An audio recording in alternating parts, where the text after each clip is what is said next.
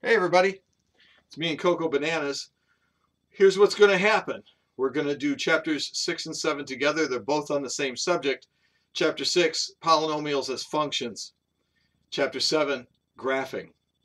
And the quadratic formula. All these ideas go together. I think of them as wedded together. I mean, they're welded to each other. You can't break it up.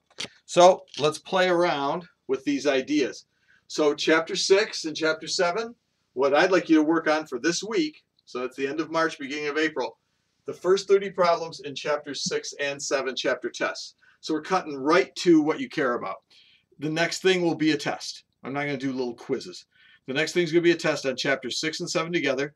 Let's learn them together because the ideas go together. And it's not that many ideas, but they're it's like having these four ideas and these three ideas and they fit together like this. So if you can get them together like that, that's the way to learn it. All right, so it starts with just the arithmetic operations. Subtraction and addition is by like terms. So if you go up here, I did on this problem what I do on any long math problem that has like terms. I actually mark them. If you look at this little single line here and this little single line there, I've got two terms that are both AB squared. It isn't the 3 in front that makes them alike. It's the AB squareds. And then I put some squiggles, double squiggles under the negative 6a squared b and the positive 7a squared b. So 3 minus 3 actually cancels to 0. And that's an equal sign here. And the uh, uh, negative 6a squared b plus 7a squared b leaves 1 a squared b. So we have 1a squared b, the ab squareds are gone, and this 4ab, nobody messes with it, but it still lives. So you get that, that answer. So this much longer thing simplifies to that, and that's how you do an addition and subtraction problem. It's by like terms. These two things are the same.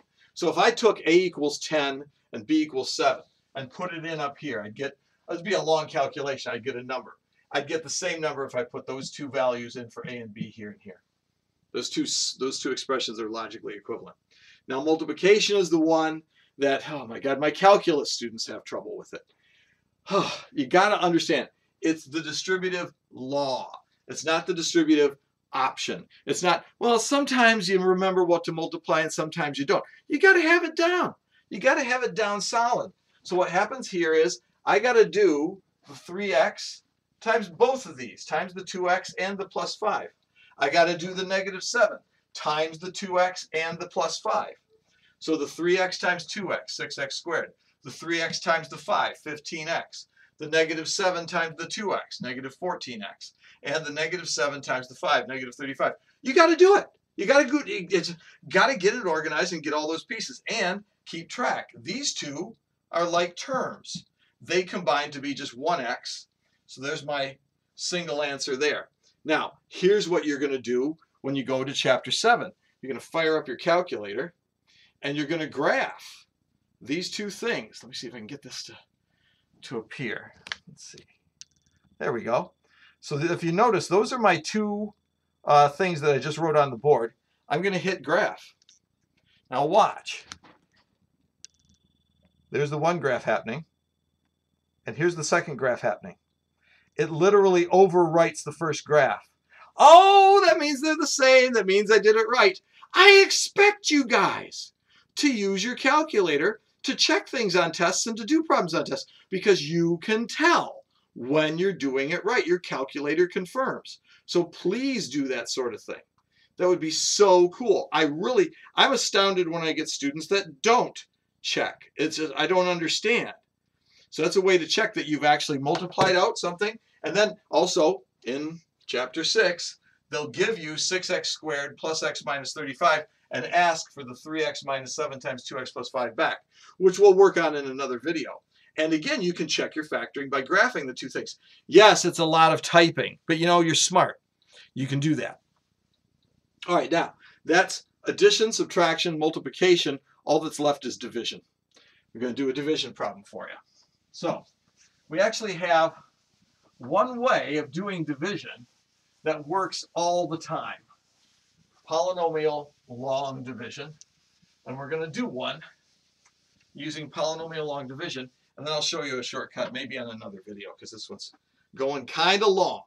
So here's what we're going to do. I'm going to do the polynomial x cubed minus, or sorry, plus 3x squared minus 4x minus 12, and it's divided by, I'm going to divide it by x minus 2. You want to get down? Are you done? Okay, she's done. And now, here's what happens. What do I multiply x by to kill the x cubed? I multiply by x squared. So I write x squared up here. x squared times x is x cubed. x squared times negative 2 is negative 2x. And I subtract. That's the big idea. That's how it goes.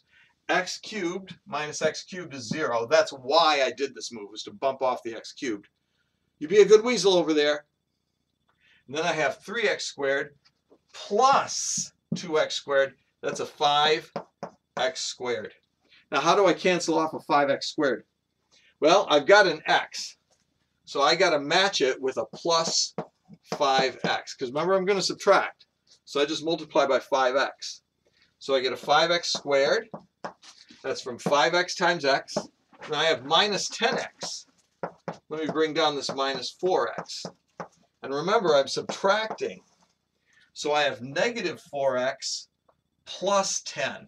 So that's a 6x minus 12. And a beautiful thing happens. If I just multiply by 6, I get 6x. Is that on the screen? It is. 6x minus 6 times 2 is minus 12. I have an exact match. These guys subtract and I get 0. Perfect. So that means that this polynomial here is equal to x minus 2 times x squared plus 5x plus 6. And I'm going to do what I just did on the last one. I entered these in my calculator.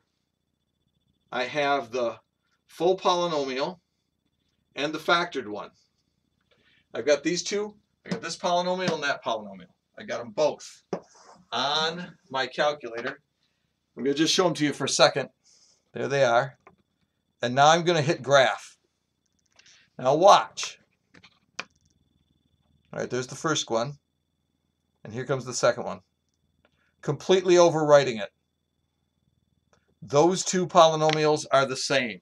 So you can always check when you're doing these things. Yes, it's extra typing. Oh my God. But would you do a minute of extra typing if it meant knowing you got it right and you don't have to look at it again? I would. I would.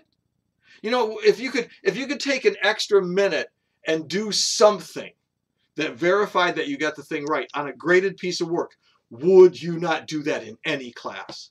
Well, do it in mine. Okay, guys, get to work.